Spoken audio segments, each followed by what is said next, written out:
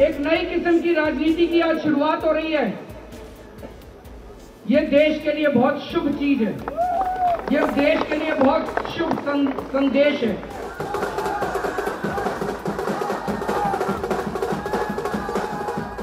दिल्ली फतेह के बाद अरविंद केजरीवाल की जबान से निकले शब्दों में बहुत बड़ा मैसेज छुपा हुआ है। केजरीवाल का अगला लक्ष्य दिल्ली से बाहर निकलकर दूसरे राज्यों में भी आम आदमी पार्टी को पहुंचाना है। क्या अब राष्ट्रीय राजनीति करेंगे, केजरीवाल? क्या केजरीवाल का नेक्स्ट मिशन बिहार होने वाला है? क्या अगले साल बंगाल इलेक्शन में भी केजरीवाल कूदेंगे? लगातार तीसरी बार मुख्यमंत्री बनने जा रहे केजरीवाल का हौसला बुलंद है। दिल्ली में उन्हें सत्तर में से बासठ सीटें हासिल हुई। राष्ट्रवाद और हिंदू मुसलमान के मुद्दे पर केजरीवाल का चेहरा और काम भारी पड़ा। लगातार दो बार मोदी लहर को रोकने में कामयाब रहे। केजरीवाल को अब राष्ट्रीय नेता के तौर पर देखा जाने लगा है। आम आदमी पार्टी ने ऐलान कर दिया है कि केजरीवाल मॉडल ही देश में विक्ट्री का नया मॉडल है। देश की राजनीति के लिए सबसे बड़ा मैसेज ये है कि काम के नाम पर भी वोट पड़ सकता है, काम के नाम पर भी चुनाव जीते जा सकते हैं। इस राजनीति से सबसे बड़ा संदेश ये जाएगा कि नेताओं को जनता के प्रति जवाबदेह होना चाहिए और पाँच साल में उन्होंने क्या किया है इसका रिपोर्ट कार्ड जारी करना चाहिए। अगले पाँच साल वो क्या करेंगे, ये बताना चाहिए। केजरीवाल ने मोदी से लड़ने का फॉर्मूला ढूंढ लिया है। मोदी को हराना है तो उन्हीं की स्टाइल में लड़ना होगा। मोदी विरोधी मोर्चे के नेताओं के साथ अब वो हाथ मिलाकर नहीं खड़े होंगे। उन्हें जिससे मिलना होगा, अकेले मिलेंगे। वन टू वन मिलेंगे। मैं अरविंद केजरीवाल। संडे को केजरीवाल तीसरी बार मुख्यमंत्री पद की शपथ लेने जा रहे हैं। और इंडिया टीवी को पक्की जानकारी मिली है कि केजरीवाल इसमें किसी दूसरी पार्टी के नेता को नहीं बुला रहे दिल्ली के मुख्यमंत्री अरविंद केजरीवाल।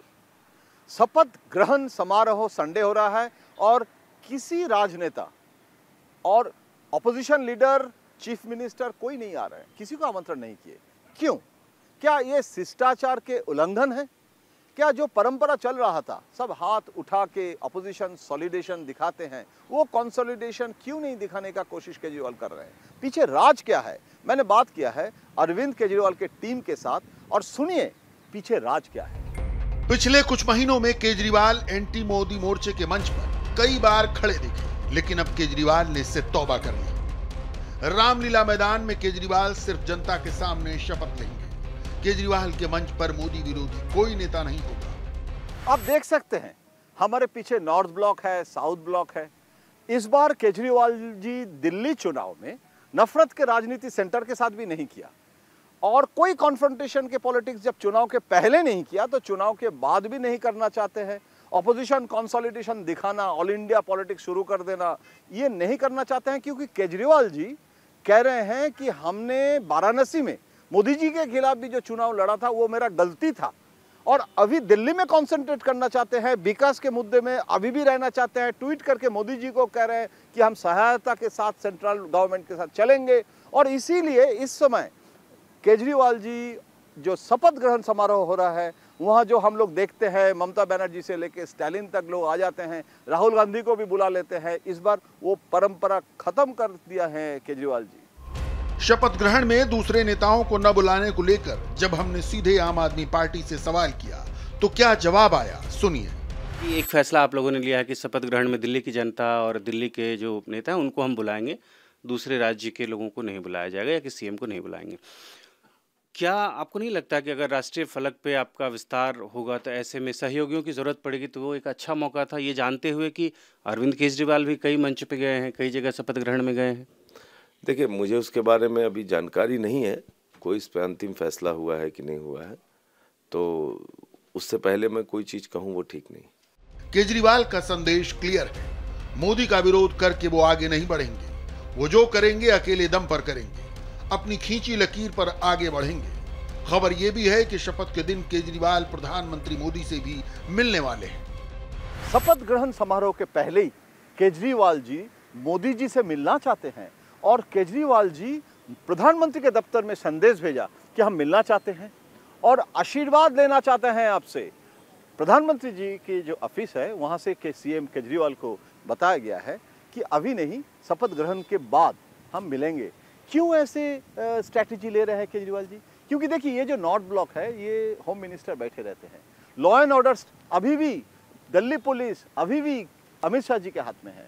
तो केजरीवाल जी इस समय कोई लड़ाई नहीं चाहते हैं और चाहते हैं सहत के साथ दिल्ली जो है, उसके जो विकास के इशू में आगे बढ़े। जो पहले किया था केजरीवाल जी, वो जो गलती, वो मिस्टेक दोबारा नहीं करना चाहते अभी केजरीवाल का पूरा फोकस फ़िलहाल शपथ पर है। लेकिन शपथ से पहले उनके नेताओं ने साफ़ कर दिया है कि केजरीवाल यहीं पर नहीं रुकने वाले। इंडिया लेवल की पॉलिटिक्स के लिए तैयारी पूरी है। इंडिया टीवी ने जब केजरीवाल के नेक्स्ट प्लान पर डायरेक्ट आम आदमी पार्टी के सांसद और केजरीवाल के करीबी संजय सिंह से सवाल पूछा तो जवाब में विस्तार के संकेत साफ़। एक राजनीतिक पार्टी है हम लोगों की तो निश्चित रूप से हम लोग अपनी पार्टी का संगठन मज़बूत करेंगे ही करेंगे हर राज्य में करेंगे। लेकिन चुनाव कहाँ लड़ना है नहीं लड़ना है इस पर अंतिम फैसला केजरीवाल जी और शीर्ष नेतृत्व लेगा। सिर्फ़ संजय सिंह ही नहीं आम आदमी पार्टी के दूसरे नेता भी खुलकर बोल रहे हैं। कि केजरीवाल सिर्फ़ दिल्ली नहीं बल्कि देश के नेता हैं। दिल्ली की जनता का प्यार इसने दिल्ली के ने जो काम किए केजरीवाल साहब ने शाताओं के आने वाले वक्त के अंदर देश का नेतृत्व अब जो कोई करेगा वो केजरीवाल जी करेंगे क्या बीजेपी हो बीजेपी या उनका जो एनडीए के जो पार्टीज़ हैं वो सब अब खत्म हो जाएँगी उनका विनाश शुरू हो गया है। इरादे क्लियर हैं केजरीवाल अब रुकने वाले नहीं हैं। दिल्ली मॉडल अब देश का मॉडल बनाया जाएगा। बिहार से लेकर बंगाल तक आम आदमी पार्टी का झंडा बुलंद करने की तैयारी शुरू हो चुकी है। तो हम लोग कामयाबी की तरफ़ चल पड़े हैं। अभी दिल्ली नहीं रह गया केजरीवाल जी के लिए। अब पूरा हिंदुस्तान है। जहाँ जहाँ चुनाव होने जा रहे हैं, केजरीवाल जी को देखिएगा। आप, हम बता रहे हैं आपको आज कि केजरीवाल जी पूरे देश के अंदर नेतृत्व करेंगे। पूरे देश का। क्या वो बिहार हो अभी जो है फ़िलहाल, या बंगाल आने वाला है, उसके बाद तमिलनाडु देखिए कि तमाम सेकुलर फोर्सेस का जो सेकुलर फोर्सेस हैं, उसका जो नेतृत्व करेगा, वो मिस्टर केजरीवाल होगा। केजरीवाल के पॉलिटिकल विस्तार का उद्घोष हो चुका है। पार्टी जोश में है। महासदस्यता अभियान चलाकर देश भर में लोगों का मन टटोलने की कोशिश की जा रही है, ताकि पता लगाया जा सके कि आम आदमी पार्टी से जुड़ने के लिए लोग कितने लालायित हैं। पार्टी ने एक मोबाइल नंबर जारी करके मिस कॉल देकर सदस्य बनने की मुहिम छेड़ी आम आदमी पार्टी ने दावा किया है कि 24 घंटे में 11 लाख नए सदस्य बने अभी तो हम लोग पूरा फोकस दिल्ली के चुनाव पे रखे हुए थे। पार्टी संगठन जहाँ जहाँ हमारा होगा, उसके बारे में पार्टी का शीर्ष नेतृत्व तय करेगा, कहाँ हमें जाना है, नहीं जाना है, उसके बारे में तो अंतिम फैसला केजरीवाल जी के साथ मिल बैठ के तब लोग तय करेंगे। हाँ ये ज़रूर है कि राजनीतिक दल है, हमारी पार्टी है तो चुनाव आने के परिणाम आने के बाद निश्चित रूप से एक नई ऊर्जा का संचार लोगों में होता है। तो हम मेंबरशिप भी अपनी शुरू कर रहे हुए हैं।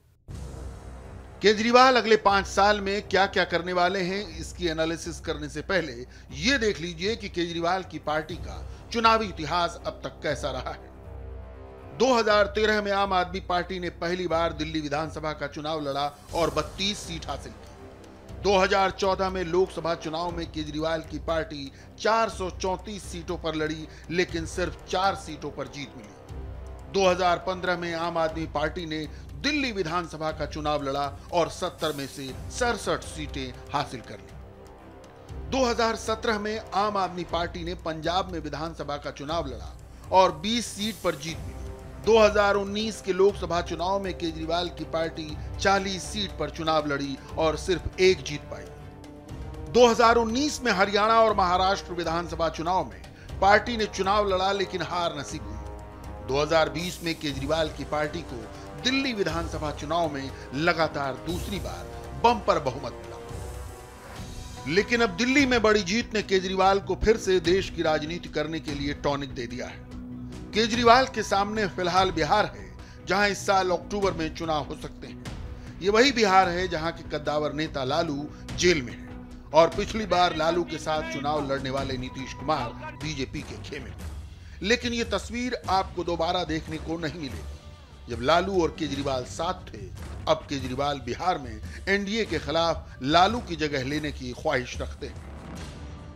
बिहार में बीजेपी और नीतीश का गठबंधन है। आरजेडी और कांग्रेस मिलकर चुनाव लड़ रहे हैं। लालू यादव जेल में है और तेजस्वी के पास आरजेडी की कमान है। एआईएमआईएम के ओवैसी भी बिहार में ज़ोर लगा रहे हैं। केजरीवाल बिहार में हिंदू वोटों के साथ मुसलमान वोटरों की पसंद बन सकते हैं। अगर आम आदमी पार्टी बिहार चुनाव में कूदी तो क्या अरविंद केजरीवाल दिल्ली वाला फॉर्मूला ही बिहार में आजमाएँगे? मुसलमानों के बीच तेजस्वी यादव का वो रुतबा नहीं, जो लालू यादव को हासिल है। नीतीश कुमार भले ही बीजेपी के साथ लेकिन मुसलमानों के बीच उनकी बड़ी पैठ है। ज़ाहिर है कि मुसलमान वोटर में केजरीवाल सेध लगा सकते हैं। दिल्ली के लोगों ने अब संदेश दे दिया कि वोट उसी को जो स्कूल बनवाएगा, वोट उसी को जो मोहल्ला क्लिनिक बनवाएगा, वोट उसी को जो 24 घंटे बिजली देगा। वोट उसी को जो सस्ती बिजली देगा, घर घर को पानी देगा, हमारे मोहल्ले में सड़क बनवाएगा।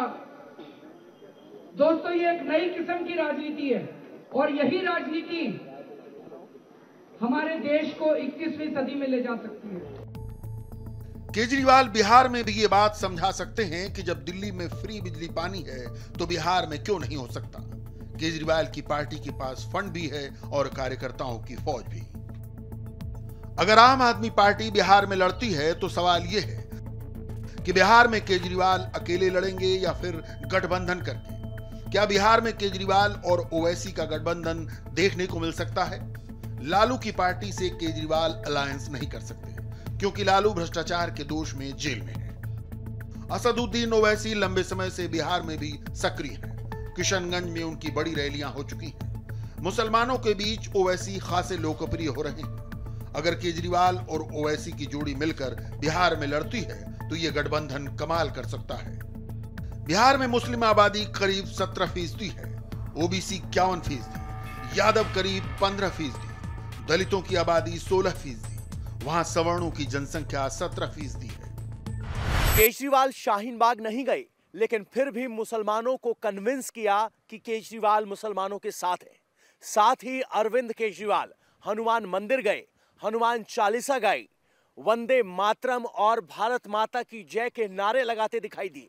यानी अरविंद केजरीवाल ने साथ साथ सॉफ्ट हिंदुत्व का कार्ड भी खेला। भारत माता की इनकलाब वंदे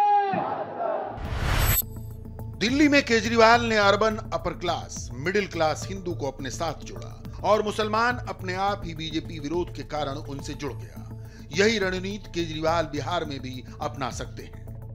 आपको लगता है कि आपका ये मॉडल बिहार जैसे राज्य में ज़्यादा कारगर साबित होगा? मैं तो आपको बता रहा हूँ कि पूरे देश में कारगर साबित होगा। इसलिए कारगर साबित होगा कि आज जैसे दिल्ली है दिल्ली पूरे इंडिया को रिप्रेजेंट करता है, यहाँ पे हर राज्य के लोग आके रहते हैं। और अगर यहाँ एक मैंडेट मिला है तो आप ये कह सकते हैं कि मिली जुली संस्कृति अब प्रवासी जो प्रवासी भाई जो बाहर से आके रहते हैं यहाँ पे, उन सब की ये राय है, उनका ये मत है कि देश में काम के ऊपर राजनीति करनी चाहिए। आम आदमी पार्टी के पॉलिटिकल विस्तार पर केजरीवाल ने अपनी जबान से अब तक कुछ नहीं कहा। उनके सामने फ़िलहाल दो विकल्प हैं। या तो नवीन पटनायक की तरह सिर्फ़ अपने राज्य तक सीमित हो जाए, या अगले पाँच साल राष्ट्रीय राजनीति करके खुद को मोदी के खिलाफ सबसे बड़ा चेहरा बनाए। केजरीवाल इसकी कोशिश पहले भी कर चुके हैं। कभी वो कर्नाटक में एच डी कुमार स्वामी के शपथ ग्रहण में मोदी विरोधी नेताओं की भीड़ का हिस्सा बने तो कभी वो मोदी की कट्टर विरोधी ममता के साथ नज़र आए। लेकिन 2015 से 2020 के बीच यमुना में बहुत सारा पानी बह चुका है। ऐसे में केजरीवाल भी बदल चुके हैं। वो अब सीधे मोदी से मोर्चा नहीं लेना चाहते। इसलिए वो नवीन पटनायक को अपना राजनीतिक आदर्श बना सकते हैं।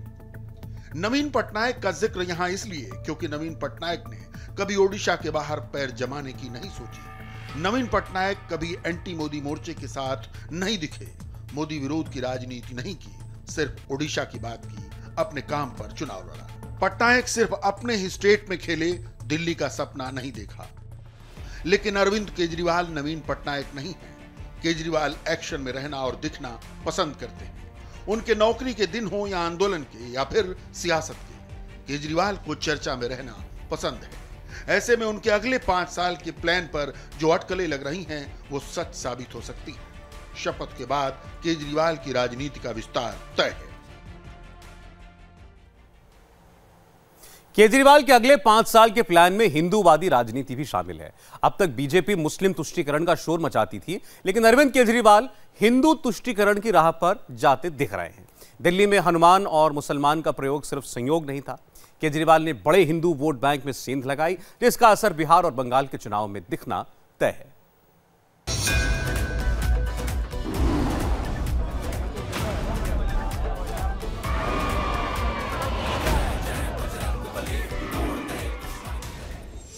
क्या दिल्ली में केजरीवाल की जीत हिंदुत्व की जीत है?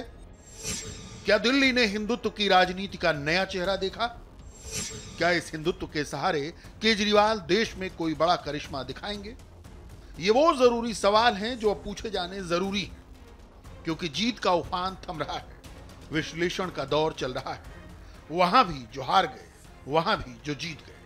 केजरीवाल सरकार बनाने के मंथन में जुटे हैं। मगर दिल्ली में उनकी जीत के साथ हिंदुत्व की नई राजनीति का आगाज़ हो चुका है। जी हाँ, आप यकीन करें या ना करें, आज केजरीवाल हिंदूवादी राजनीति का नया चेहरा है। ये न सॉफ्ट हिंदुत्व है, न हार्ड हिंदुत्व है, ये ओरिजिनल हिंदुत्व है। हनुमान जी ने यही कहा कि अच्छा काम कर रहे हो, लोगों की सेवा कर रहे हो, लोगों की सेवा करते रहो, फल मेरे ऊपर छोड़ दो सब कुछ अच्छा होगा। अब तक देश में तमाम सियासी दल मुस्लिम तुष्टिकरण की राजनीति करते रहे, इफ्तार पार्टियाँ करते रहे, ईद की सिवैयां खाते रहे, टोपियाँ और गमछे पहनते रहे। बीजेपी ने इस तुष्टिकरण की राजनीति को निशाना बनाया। पार्टी को इस आक्रामकता का फ़ायदा मिला। 2014 के बाद मुसलमान देश की राजनीति में लगभग इरेलीवेंट हो गए। उनका तुष्टिकरण जीत की गारंटी नहीं रहा, बस मुस्लिम फैक्टर की सीटों पर ही उन्होंने जीत दर्ज कराई। वो आज़म खान हो या असदुद्दीन ओवैसी। देश की राजनीति में हाशिए पे चले गए मुसलमानों की कसक को अरविंद केजरीवाल ने पकड़ ली। अरविंद केजरीवाल को पता था कि उनको जब भी सहानुभूति का मज़बूत हाथ मिलेगा, वो चले आएँगे। मुस्लिम वोटर्स पहले ही कांग्रेस के हाथ से बहुत निराश हो चुके थे। निराश भी इतना कि कांग्रेस के दिग्गज मुस्लिम लीडर्स बुरी तरह से हार गए। कईयों को तो अपने डिस्टेंट फैमिली का वोट तक नहीं मिला। इसीलिए इस चुनाव में अरविंद केजरीवाल हिंदू तुष्टिकरण का खुला खेल खेल रहे थे। हिंदू तुष्टिकरण कहना और सुनना भले ही आपको अजीब लगे, लेकिन केजरीवाल ने किया हिंदू तुष्टिकरण। इसे बस चंद मोटी बातों से समझ लीजिए। केजरीवाल ने मुस्लिम बहुल इलाकों का दौरा तक नहीं किया। मुस्लिम इलाकों में जाने से बीजेपी को सीधे अटैक का मौका मिलता। मुफ़्त बिजली पानी से खुश हिंदू वोटर भी बिदक सकता था। इसीलिए नागरिकता संशोधन कानून पर भी केजरीवाल खुलकर सामने नहीं आए। शाहीन बाग की औरतों के पास तो बार बार उकसाने के बाद भी नहीं गए। रहा हनुमान चालीसा और हनुमान मंदिर तो उसने केक पर क्रीम का काम किया।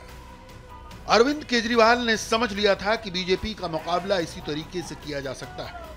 अब तो उनकी पार्टी के नेताओं की जबान सुन लीजिए, वहाँ भी रामायण ही टपकती है। राम ने हनुमान जी को चुन लिया, ठीक है? और हनुमान जी ने आम आदमी पार्टी को चुन लिया। तो अब इनको जो है कम से कम हनुमान जी के बारे में जो है मज़ाक, और हनुमान का ही मज़ाक क्यों उड़ता रहा है? आज से नहीं। रावण ने भी हनुमान का मज़ाक उड़ाया था क्या क्योंकि ये बंदर है। चलो इस बंदर की पूंछ में आग लगा दो बंदर को पूंछ बहुत प्यारी होती है। और उसके बाद हनुमान ने लंका में ही आग लगा दी।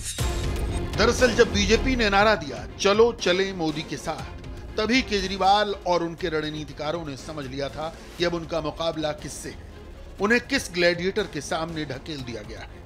तभी यह तय हो चुका था कि अब आम आदमी पार्टी को हिंदू और हिंदुत्व के करीब रहना है, मुसलमानों से दूर ही दिखना है। सवाल ये उठता है कि मुसलमानों ने आम आदमी पार्टी के काम और अरविंद केजरीवाल के नाम पर एक तरफा वोटिंग कैसे की? हम आपको ये पहले ही बता चुके हैं कि अरविंद केजरीवाल जानते थे कि मुस्लिम मतदाताओं की कसक क्या है और उनकी मजबूरी क्या है। ऐसे में अपनी पार्टी के मुस्लिम लीडर्स को ये ज़िम्मेदारी दी कि अपने समुदाय के वोटरों को समझाएँ। इसका एक बड़ा उदाहरण है ओखला के विधायक अमानतुल्लाह खान। शाहीन बाग में तमाम उनके वॉलंटियर्स आज काम कर रहे हैं। इसके साथ ही मुसलमानों ने पार्टी के बड़े नेताओं से जानबूझकर दूरी बना के रखी। और छह साल बाद यही वजह है कि आज वो ये समझ रहे हैं कि राजनीति में अब वो कटे कटाए या अलग थलग नहीं है। मोदी हिंदुत्व की राजनीति का सबसे बड़ा चेहरा है। इस पर पहले दिन से कोई सवाल नहीं है। उन्होंने गुजरात से लेकर दिल्ली तक खुद को एक ऐसे लीडर के तौर पर पेश किया, जो हिंदुओं के अधिकार और हिंदुओं के हित की बात करेगा। उन्होंने विकास और हिंदुत्व की राजनीति का जो मिक्सचर बनाया, उसका कोई तोड़ नहीं था। लेकिन मोदी शाह की जोड़ी का हिंदुत्व आक्रामक है। मसलन यूपी में बीजेपी ने 2017 में 300 से ज़्यादा सीटें जीती। यूपी में मुसलमानों की तादाद 18 फ़ीसदी से ज़्यादा है। मगर बीजेपी ने एक भी मुसलमान कैंडिडेट को टिकट नहीं दिया। दिल्ली में बीजेपी ने भी यही किया, बल्कि योगी को प्रचार के लिए भी बुलाया। मुसलमान से दूरी बनाए रखने का यह मोदी शाह का तरीका था। मगर केजरीवाल ने दूरी बनाने के बावजूद पाँच मुसलमानों को टिकट दी। ये पाँचों कैंडिडेट बम्पर वोटों से जीत दर्ज कराने में कामयाब रहे। दरअसल केजरीवाल मुसलमानों की मजबूरी समझ रहे थे और मुसलमान केजरीवाल की इसलिए अरविंद केजरीवाल आसानी से दिल्ली में बजरंगी भाईजान बन गए। इसमें कोई दो राय नहीं है कि अरविंद केजरीवाल की जरा सी चूक हिंदू वोट बैंक को बीजेपी के पाले में गोल बंद कर देती। इसीलिए अरविंद केजरीवाल ने हनुमान भक्त बनकर हिंदू वोट बैंक को बड़ी चालाकी से डिवाइड कर दिया और मुस्लिम वोट बैंक पहले से ही उनके पाले में था, वो भी एक मुश्त जिसकी वजह थी सी और एनआरसी इसीलिए दिल्ली की जनता को अरविंद केजरीवाल के हिंदूवाद पर भरोसा हो गया, वो भी आसानी से। हिंदूवाद पर भरोसे की बात चली है तो आइए राहुल गांधी का भी ज़िक्र कर लें। 2014 में मोदी के आने के साथ ही राहुल गांधी को अपनी कमी का एहसास हुआ। राहुल गांधी की रणनीति में परिवर्तन आया। केदारनाथ की यात्रा से लेकर गुजरात और कर्नाटक तक मंदिर दर्शन हुए। मगर कांग्रेस को इन राज्यों में जो फ़ायदा हुआ वो जनेऊधारी राहुल से नहीं हुआ राहुल का हिंदुत्व तो भरोसा नहीं जगाता, बल्कि कॉस्मेटिक दिखता है। राहुल की पूजा अर्चना भी बहुत सिखाई हुई लगती है, मगर केजरीवाल का हिंदू स्वाभाविक दिखता है, जिसे बजरंग बली की जय कहना आता है और हनुमान चालीसा भी याद बहरहाल, आइए अब आंकड़ों के ज़रिए बताते हैं कि हिंदू केजरीवाल ने दिल्ली में बीजेपी के किस वोटर को अपनी ओर खींचा। 2013 के विधानसभा चुनाव में बीजेपी को 32 फ़ीसदी वोट मिले। 2015 के विधानसभा चुनाव में फिर बीजेपी को 32 फ़ीसदी ही वोट मिले। 2020 के चुनाव में सारा दम लगाने के बावजूद बीजेपी को मिले तकरीबन 38 फ़ीसदी वोट। 2014 के लोकसभा चुनाव में बीजेपी के वोट सीधे बढ़कर 48 से उनचास फ़ीसदी हो गए थे। 2014 के लोकसभा चुनाव में उसके सामने मोदी जैसा मज़बूत चेहरा था। 2019 के लोकसभा चुनाव में यह आंकड़ा 50 फ़ीसदी को पार कर गया। साफ़ है जब सामने मोदी होते हैं तो बीजेपी के 15 से 20 फ़ीसदी वोट बढ़ जाते हैं। लेकिन जब मोदी सामने नहीं होते, कहानी वापस लौटकर 32 से 38 फ़ीसदी पर आ जाती है। यानी जब विधानसभा में केजरीवाल सामने होते हैं तो ये 15 से 20 फ़ीसदी वोटर आम आदमी पार्टी की ओर शिफ्ट हो जाता है।